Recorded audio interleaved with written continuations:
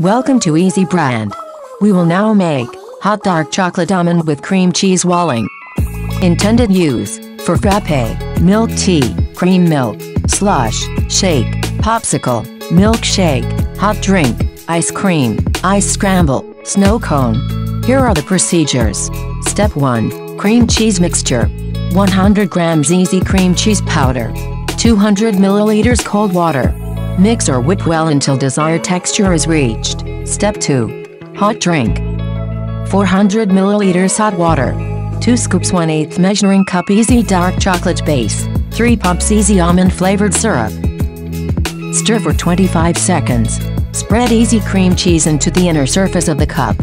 Pour hot chocolate mixture into the cup.